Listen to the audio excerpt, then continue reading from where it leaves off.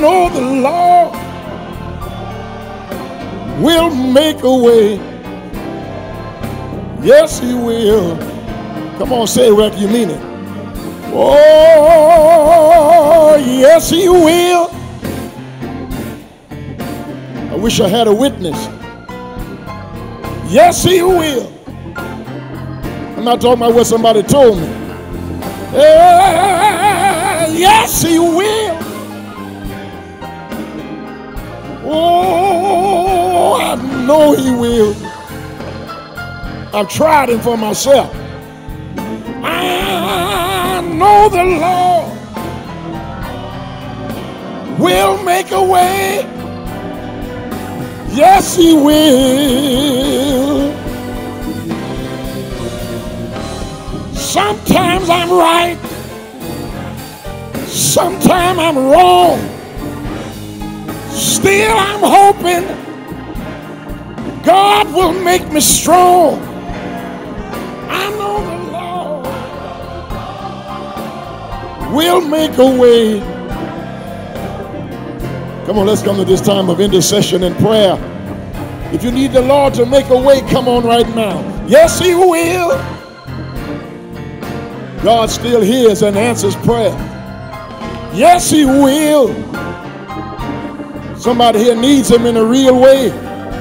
Oh, yes, He will. I tried Him and I know He will. I know the Lord will make a way. Yes, He will. He'll make a way for me and you. God will see you safely through. I know the Lord.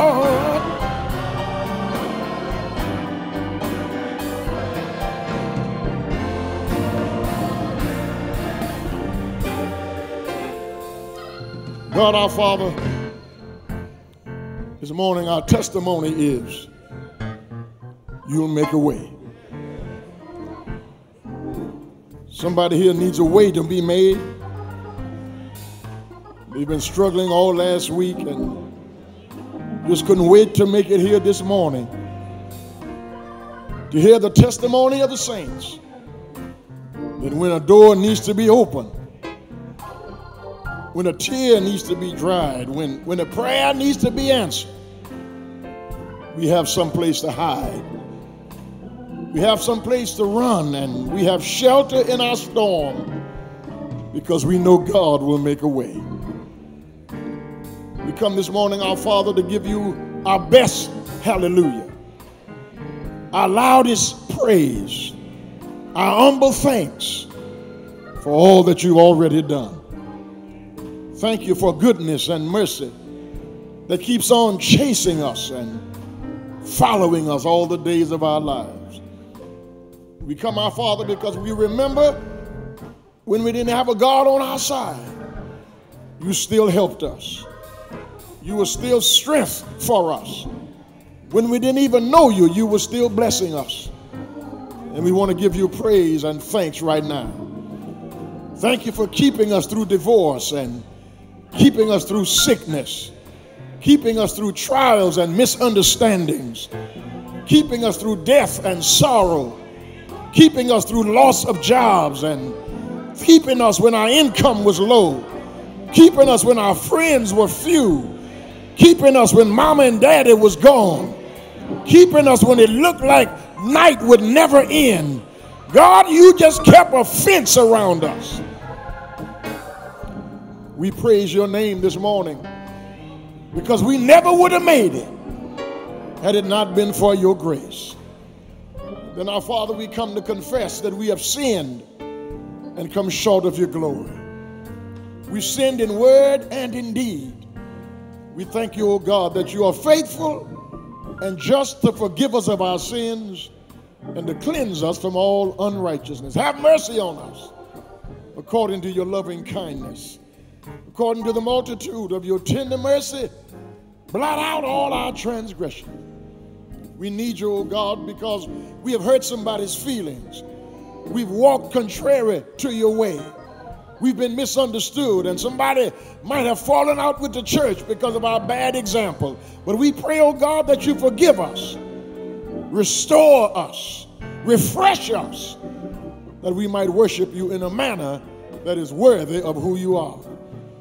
We come praying for our brothers and sisters whose hand we hold. We don't know what their struggle is. We don't know what their doctor's report has said. We don't know what str- struggle is going on in their lives, but we know that you're able to fix it. You're able to do exceeding abundantly above all that we can even ask or think. We come, oh God, because your word says there's no good thing that you will withhold from them who walk uprightly. So we come to commit our ways, to commit our problems, to commit our situations. All of it, we put it in your hand. Bless the word preached this morning. Lift the word this morning that somebody who's stumbling in sin or somebody who's looking for a savior, looking for a church home would come running crying, What must I do? Then, oh God, one day soon, the warfare will be over. Some of us here are getting old and our steps are getting short. Soon we will be done with the troubles of this world. When that morning comes, when that evening comes, we want to hear your voice saying, Servant, well done. You've been faithful over a few things, I'll make you ruler over many. You know what we need even before we ask. You know even better than we know ourselves. So hear our prayer. Incline your ear to us and grant us your peace. In the strong name of He who loves our souls, even Jesus Christ. Amen. Open your Bibles with me to chapter 25 of the book of Genesis. This is the last in our series of sermons on Abraham's life. I'm going to miss Abraham. We've been talking about him now for some 17 weeks or more. And I want to look at chapter 25, commencing in verse 5 through verse number 11. And Abraham gave all that he had unto Isaac. But unto the sons of the concubines which Abraham had, Abraham gave gifts and sent them away from Isaac his son while he yet lived eastward unto the east country. And these are the days of the years of Abraham's life which he lived, a hundred threescore and fifteen years, or one hundred and seventy-five years. Then Abraham gave up the ghost and died in a good old age, an old man and full of years, and was gathered to his people. And his sons Isaac and Ishmael buried him in the cave of Machpelah in the field of Ephron, the son of Zohar the Hittite, which is before Mamre. The field which Abraham purchased of the sons of Heth, there was Abraham buried, and Sarah his wife. And it came to pass after the death of Abraham that God blessed his son Isaac and Isaac dwelt by the well Lahairoi. Thank you. You may be seated. The grass withers and the flower fades, but the word of our God shall stand forever. Walking with God by faith. Walking with God by faith. Over these weeks, we have looked at Abraham being called from the land of Ur of the Chaldees. He was called out from among his, his kinsfolk and his acquaintances, and he was called to go to a land that he knew nothing of. He was taken away from everything that was familiar to him his father, his land, his, his, his culture, everything that, that made him who he was, God called him from that to bring him to another land. And the scripture says that God blessed Abraham. And he chose that through Abraham all the nations of the earth would be blessed. God blessed Abraham to marry a beautiful woman by the name of Sarah. But Sarah, as you know, was barren and could not bear him children. And Abraham and Sarah go to Egypt, and uh, he sins there in Egypt because he has Sarah to lie and say that she is his sister rather than his wife because he does not want to be killed by the Egyptians and Sarah taken from him. It's in that moment of weakness and failure that he lies and sins, but God still keeps them because God has made a promise that all the nations of the earth through Abraham would be blessed. Success and failure, ups and downs, trials and tribulations, sunshine and rain, good days and bad days. Life is filled with all of them. Life is a mixture of success and failure, up and down, good and bad, sunshine and rain. And if you're not careful, you'll put too much trust in one and not enough trust in the other. Or you will believe that you will be successful all the time if you're succeeding, or you will believe that you will fail all the time if you're failing. But I need you to hear me this morning, brothers and sisters. Success and failure are both imposters. Uh, because you can get caught up in one and think that you're going to be one of them all your life. But sometimes God has to let us fail to make us recognize that you've got to totally trust in God. I wish I had a witness here. I need somebody here who knows something about success and failure, up and down, good and bad, right and wrong. You've had all of them in your life, but through it all, God's kept you. God's been faithful. God has showed up when you needed him. God has been the God that he said he would be in your success and your failure. Here is Abraham. Uh, God has finally delivered on his promise. He's given him a son after his mistake with Hagar. God has given him a son, Isaac, and then God tells him, Take your only son, your uniquely born son, your son of your old age, and sacrifice him on a mountain that I will show you. Abraham saddles his ass and gets all of his servants together, and they head up to Mount Moriah. And he says to the servants, Wait here while me and the boy go yonder to worship. He's on his way to take Isaac's life, but he calls it an act of worship. And until you are willing to lay your Isaac down, you're not willing to give God the worship he deserves. Unless God has first place in your life, unless God is your priority, unless what you love you put on the altar of sacrifice for God, you're not really willing to worship God in the manner that He deserves to be worshiped. He's on his way to lay Isaac down, and while he's on his way up one side of the mountain with questions, God is coming up the other side of the mountain with the answer. Uh, they're on their way, and Isaac says, Daddy, I see the wood, I see the fire, but where is the lamb for the burnt offering? And Abraham says, My son, God will provide himself a lamb for the burnt offering. And when they get up there, he's ready to come down with his knife, and God says, Abraham, now I know that you fear God.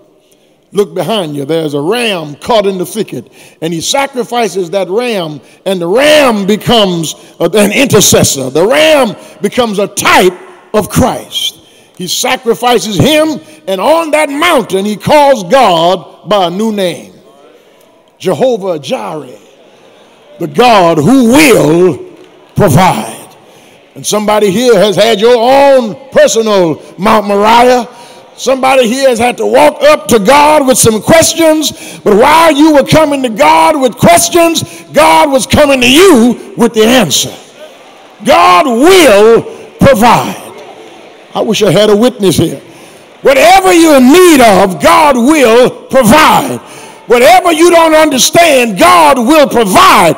And God will not always provide an answer, God wants to be the answer.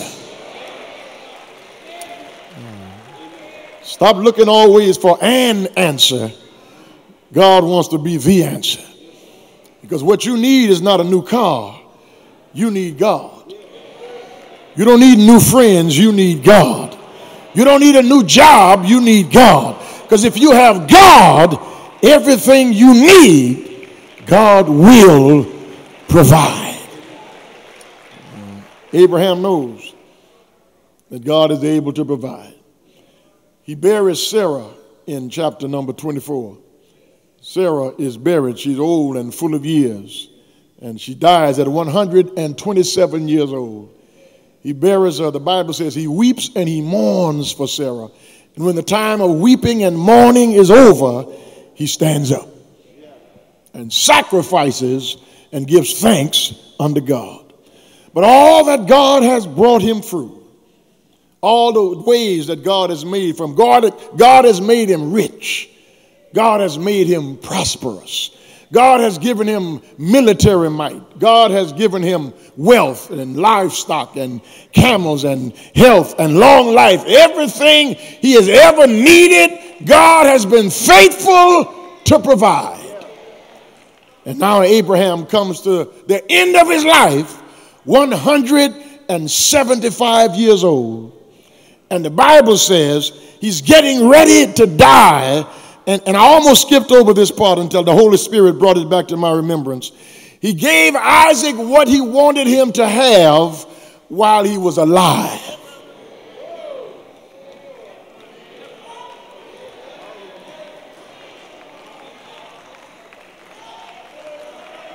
He gave Isaac what he wanted him to have while he was alive. Because he had some other children with a wife after Sarah died. And then he had that boy with Hagar, Ishmael. He had some outside children.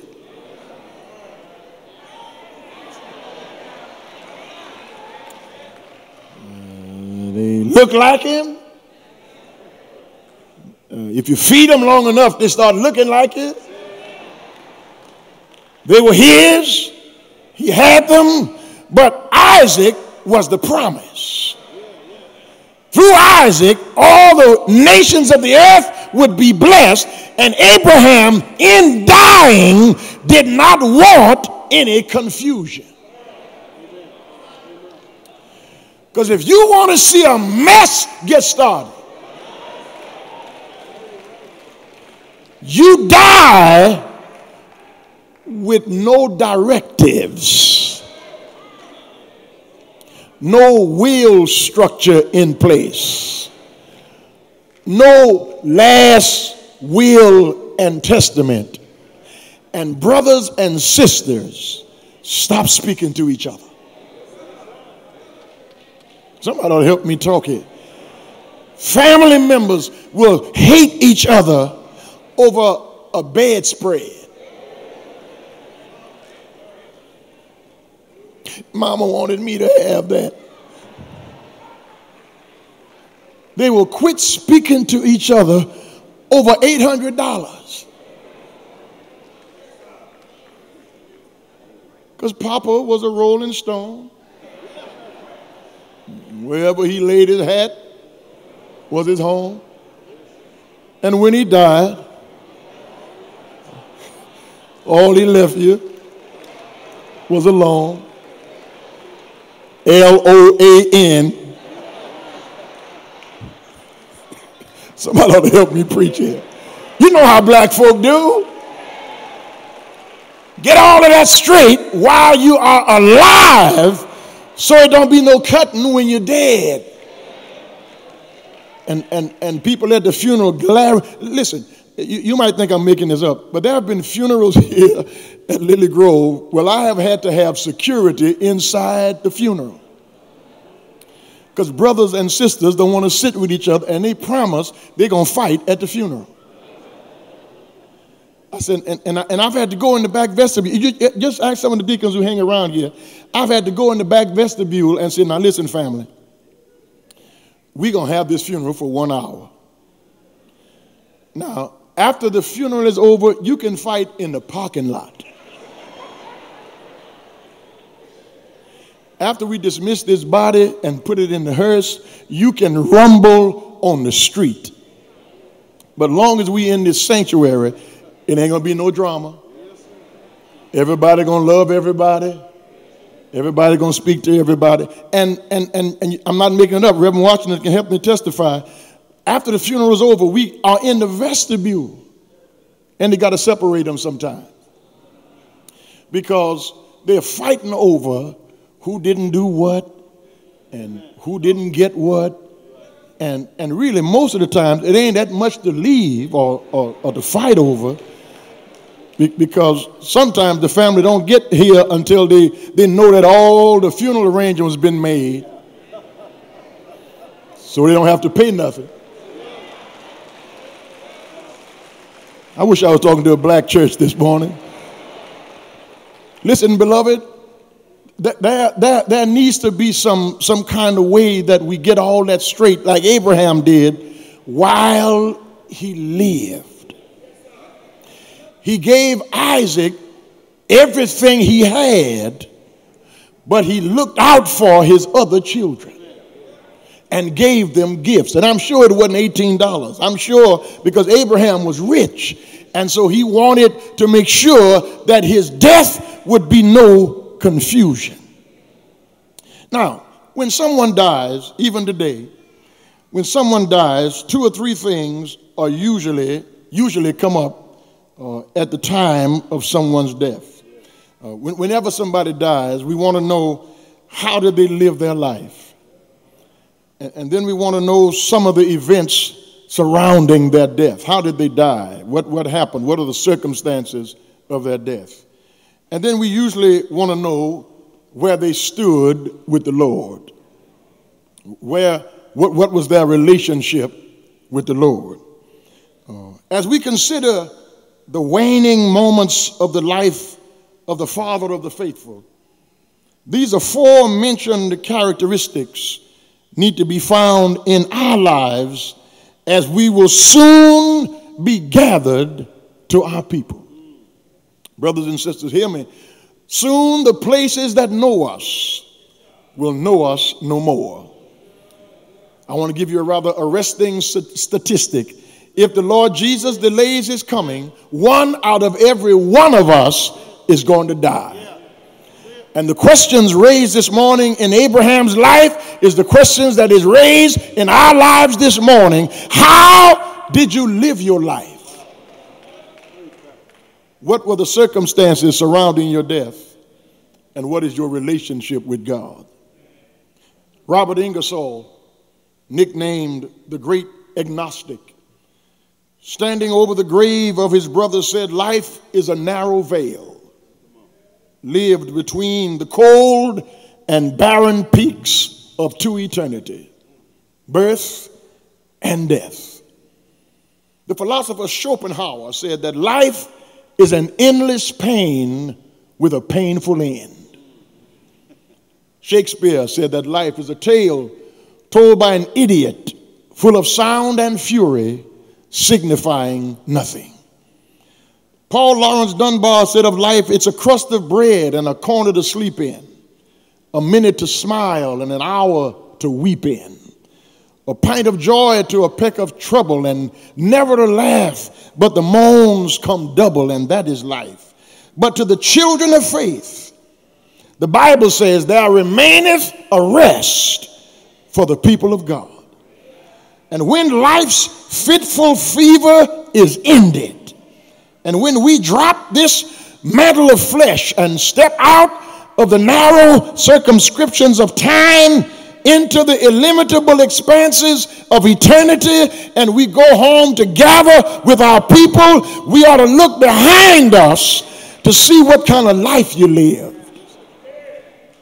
What were the events surrounding your death? But more importantly, what was your relationship with the Lord? Let's look at how Abraham lived his life. Brothers and sisters, his life was a life of faith. 12 of the 40 verses of Hebrews chapter 11 about, are about Abraham's faith. Read it when you get home. Hebrews chapter 11 says, By faith, Abraham. By faith, Abraham. By faith, Abraham. 12 of 40 verses are dedicated to Abraham's faith. His was a life of faith. His entire life was marked and characterized by strong faith. What kind of life are you leading? Is your life a life of faith? And then his life was not only a life of faith, it was a life of following.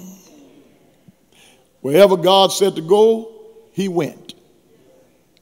Wherever God said to stop, he stopped. Wherever God said to build an altar, he built an altar. Wherever God said to worship, he worshiped. Whatever God said to do, he did. Because faith is about following. And it's following even when you can't see what's up ahead. I wish I had help to preach right here. It's following when you don't know what tomorrow is going to bring is doing right when you don't know what that's going to lead to. Because right may lead to your being ostracized, you're being criticized, you're being talked about, you're being looked askance at. Right may lead to you falling out with your friends.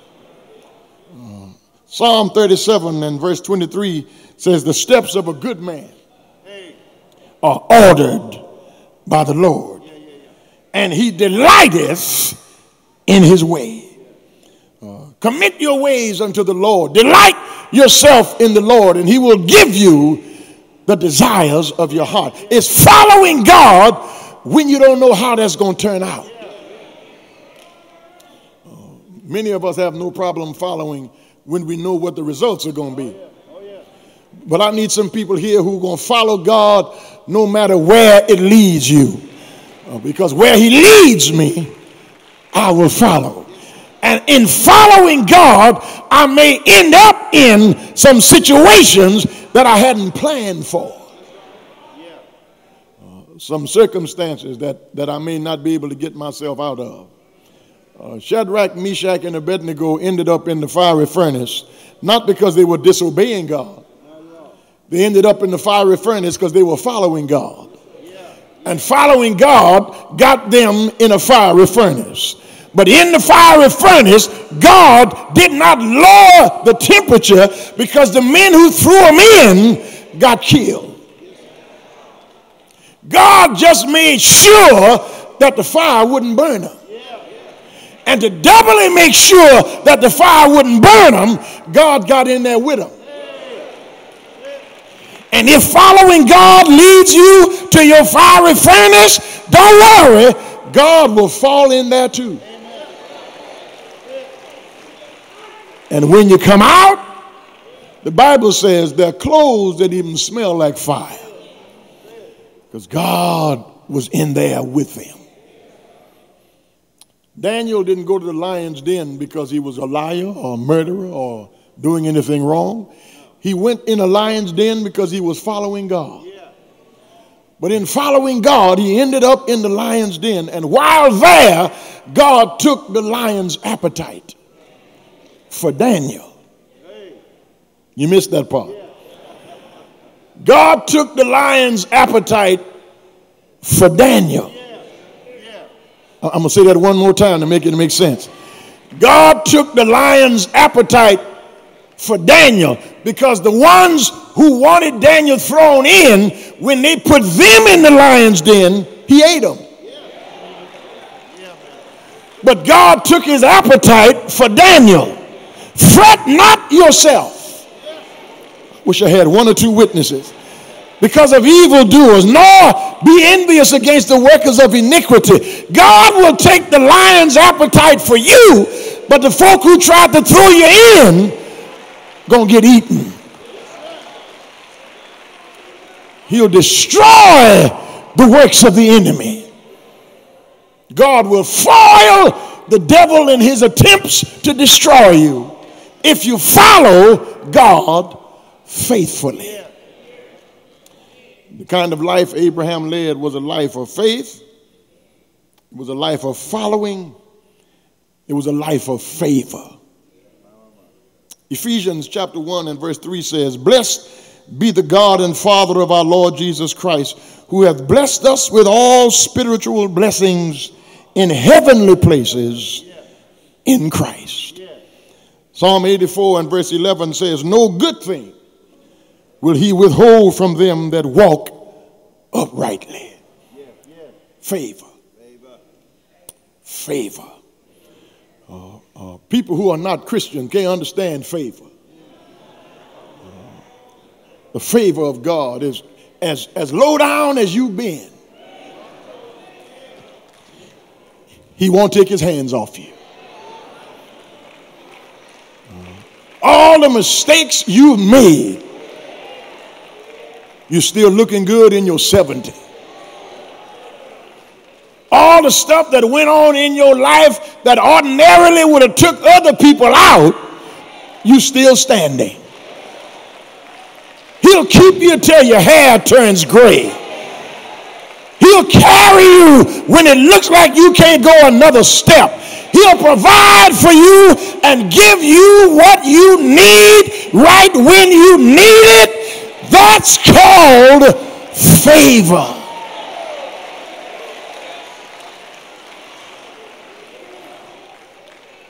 You're not doing good on your job because you're such a good employee.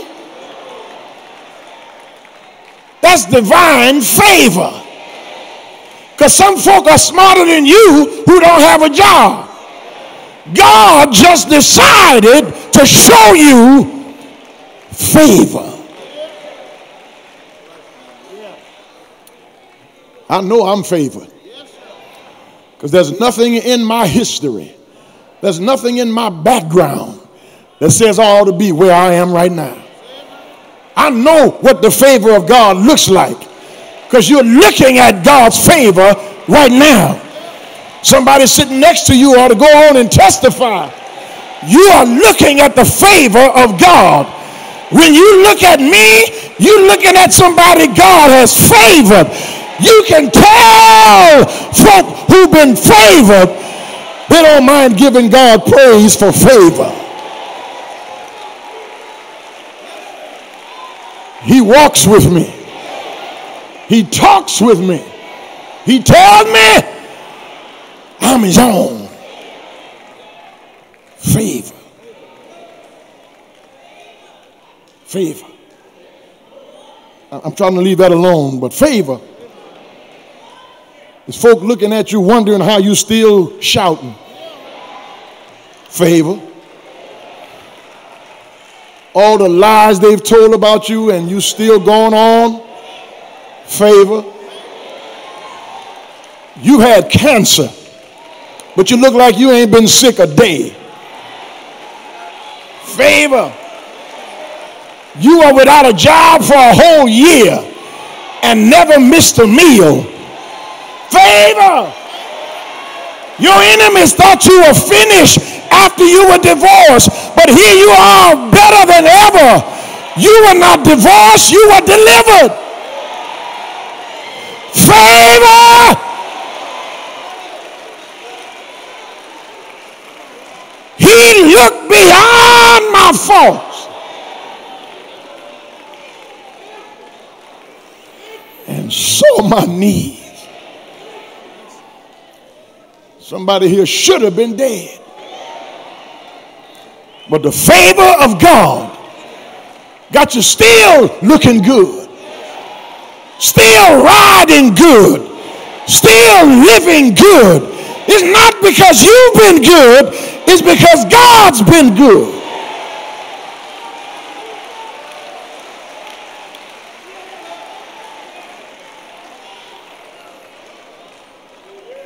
Not because I've been so faithful.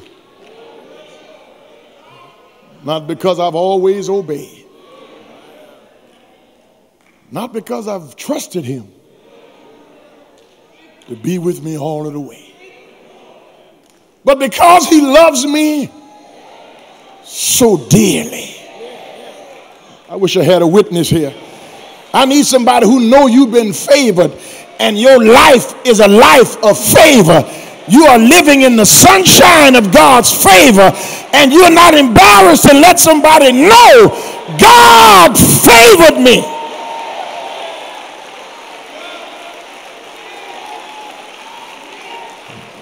Here it is. Here it is. It's just this simple. I wish I had something more profound. I wish I had something deeper, but it's just this simple. Jesus loves me this I know because the Bible tells me so. Little ones to him belong. They are weak, but he is strong. Yes, Jesus loves me. Somebody ought to help me shout over that. When I'm unlovable, Jesus loves me. When I'm unworthy, Jesus loves me. When I'm not good enough, Jesus loves me. When I've sinned, Jesus loves me. Yeah. That's how he lived his life. But now I want to move on to how he died his death. He lived his life in in faith, in following, in favor. But let's look at the events surrounding his death. Not only is Abraham an excellent example of how we ought to live our lives, but even in his dying, there are some precious truths that are seen in him that ought to be seen in us. Let's, let's, let's look at the readiness of his death. Uh, no struggle. Not, not trying to hold on to stuff. Not hating that he got to go. He's lived 175 years. God's been good to him everything life had to offer, God blessed him with. And so when it came time to die, he gave up the ghost. He breathed his last. No, no, no, no struggle, not trying to, not trying to grab a refrigerator. Not, not trying to hold on to a car, not, not, not putting his money under the mattress, not, not making sure that he got his bank book in his hand. Because if your heartstrings are tied to your checkbook, you're going to have a hard time leaving here. If what you have and what you own is who you are, you're going to struggle to die. You ought to hold everything with a loose grip. Because one day, God will take you from it or it from you. Don't, don't, don't, don't, don't, don't hold these things where, where moth can corrupt them. Thieves can break through and steal them. Uh, uh, uh, build treasures in heaven where moth cannot corrupt and thieves cannot break through and steal. These, these things that we have These, these things that God gives us is for us to use. Uh, use your things. Don't fall in love with your things. Don't get caught up in your things. Don't identify with your things because when it's time to die, I just want to breathe my last. I thank the Lord that I was in the room when my father breathed his last. I watched him take his last breath. I was there when my mother took her last breath. I was there to watch three of my brothers take their last breath. No strain, no, no fighting, no struggling, no trying to stay here. Listen, when it's time to go, go. And, and, and, and, maybe there's something wrong with me. Maybe, maybe I'm messed up in my thinking. I'm, I'm, and, and it could very well be me. But I don't understand people who, who are, want, want to hold on to people and keep them here with cancer, ravaging their bodies. They, they can't control their bodily functions. They no longer know who, who they are, where they are. You want them to stay here like that forever? No, you ought to pray for them to go. Because this world is not our home. We are pilgrims and strangers. And when it's time for us to leave this world, you think I want to stay here old forever? Can't see, can't walk, can't dress myself. I want to go. People hollering at you, telling you, open your mouth. Y'all ain't gonna be hollering at me. I'm gone. I'm, I'm not, I'm not staying here uh, wetting myself and uh, people pointing at you. I want to go. I, because listen, brothers and sisters, I am not in love with this world.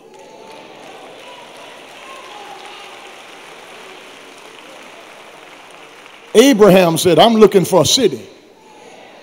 I wish I had a Bible reader whose builder and maker is God. I'm a pilgrim.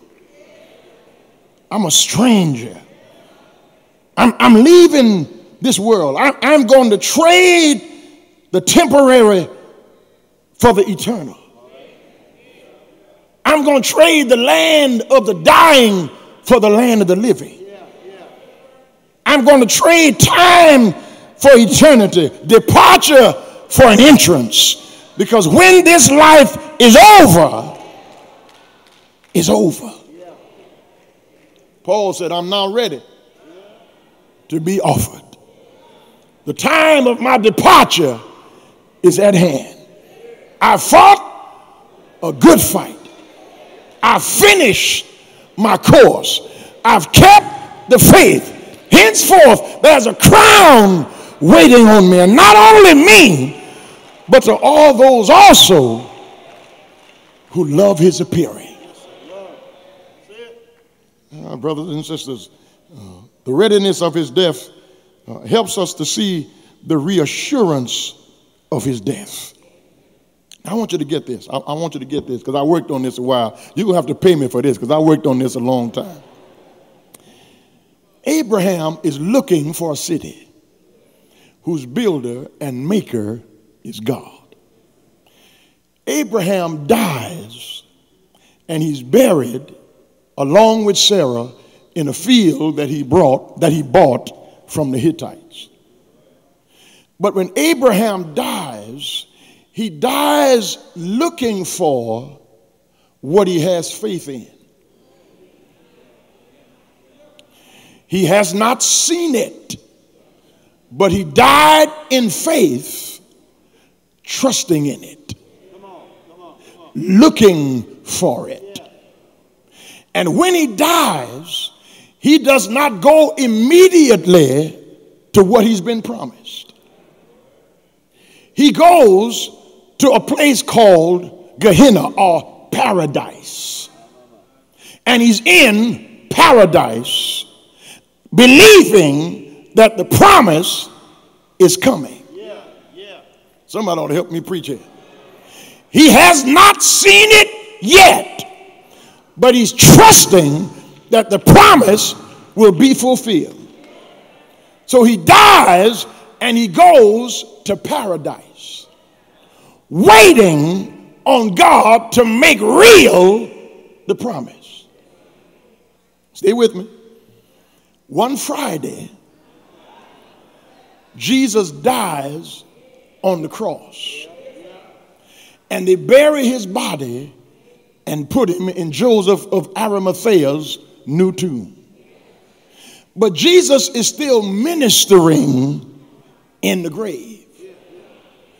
Because first Peter tells us that he went to paradise to preach to the spirits that had been chained in darkness.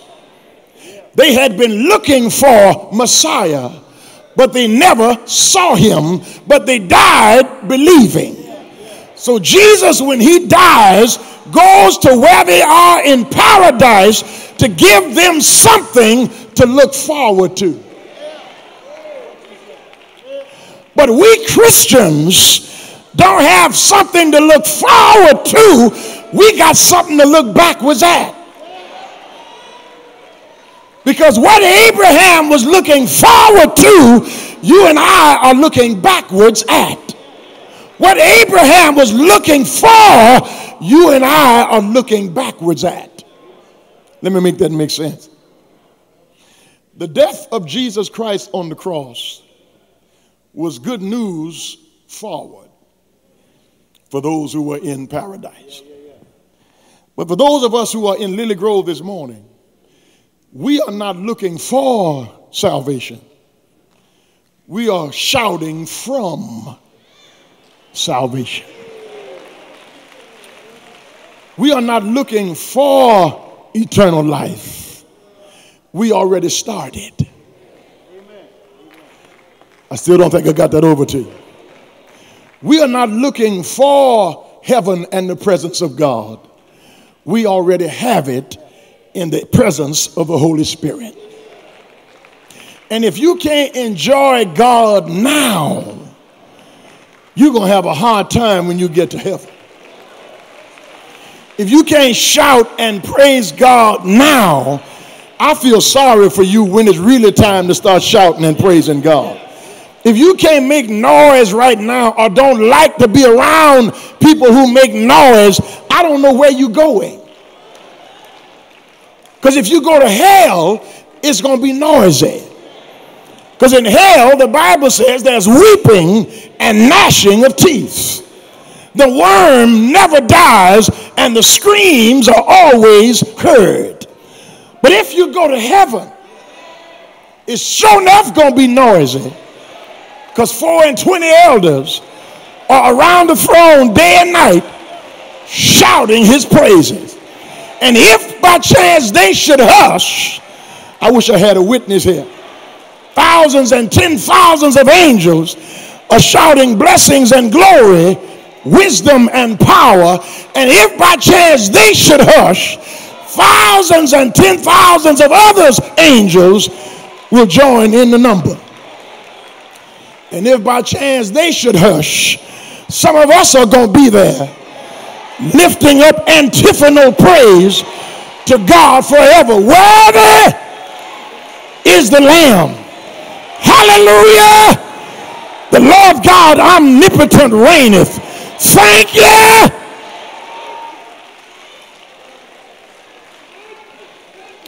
I think I ought to remind somebody that the carrying on we do over here is a dress rehearsal.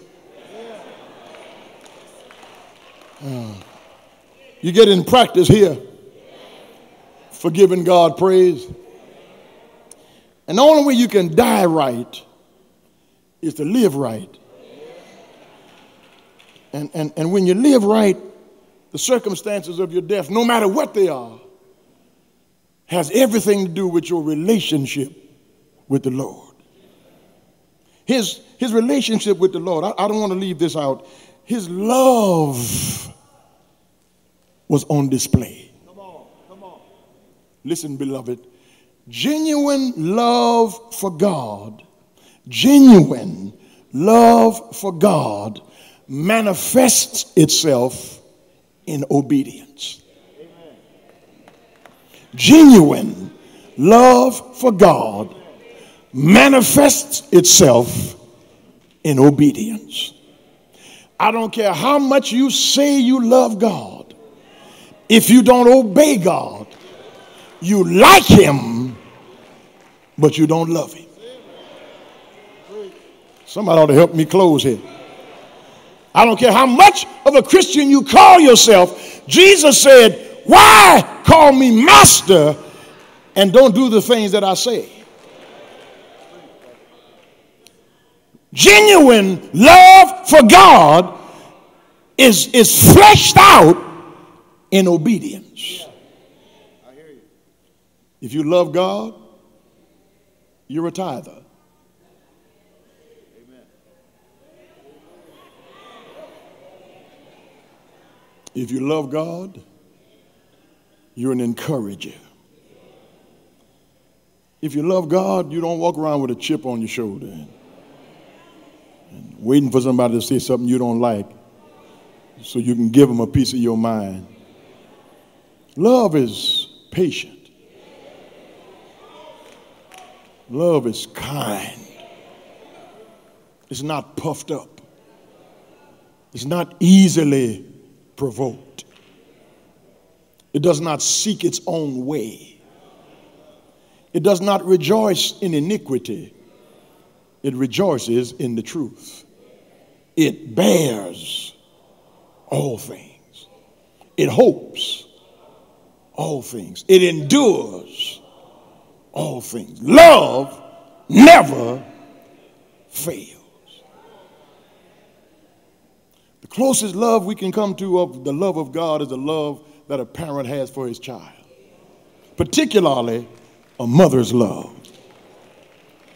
That mama might agree with that daddy that that boy ain't no good, we got to put him out.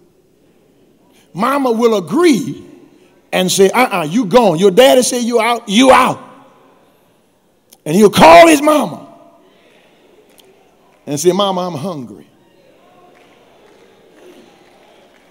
And she will not sneak food out the house, she'll go cook it. She ain't gonna sneak no money out the account, she gonna go take it out. Because that's my child. Or he'll call and say, Mama, I'm in jail. The daddy say, that's where you ought to stay. But mama say, we getting up and going to get that boy out of jail. Because love never gives up. That's what that word fails in the text means. It never gives up. I know he ain't no good, but he's mine. I know he doesn't deserve another chance, but he's mine.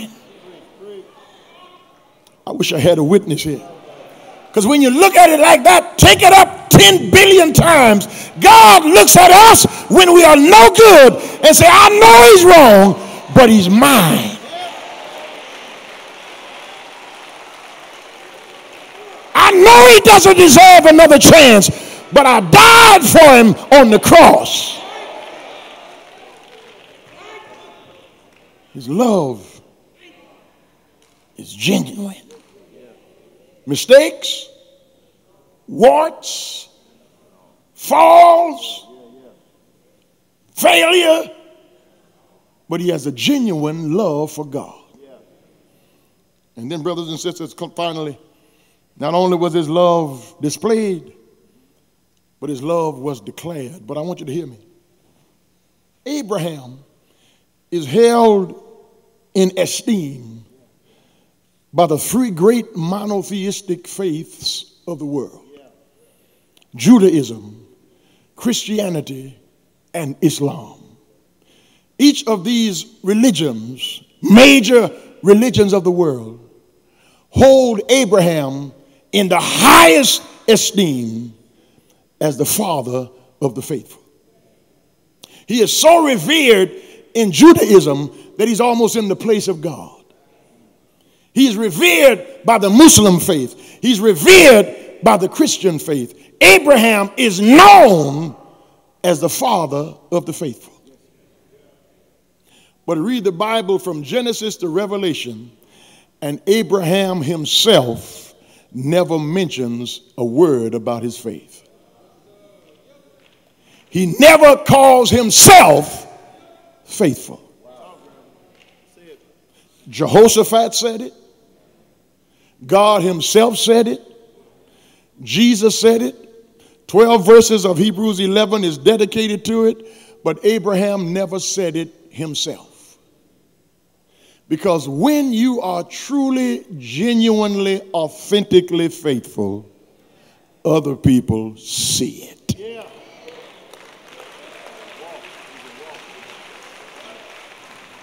But more than that, God sees it. It's not in your talk, it's in your walk. He walked by faith. He didn't talk by faith. Because all many of us talk a good game. But when darkness comes, you got to walk by faith. When sickness comes, you got to walk by faith. When trouble comes, you got to walk by faith. When trials grip your family, you got to walk by faith. We walk by faith and not by sight. We cannot see in the future. We cannot see through dark clouds. We cannot see through sorrow and teardrops, but we walk on by faith each day. On Monday, by faith. Even on Tuesday, by faith. Let Jesus be your guide. Because he's able to carry the load for he can see way down the road. Walk on by faith each day. I, I don't know how long I'm going to live, but I do know I'm going to live by my faith. My next step may be my last, but if it's my last step, it'll be the last step I take by faith. I trust God with my future. I trust God with my finances. I trust God with my family. I trust God foundationally to carry me through.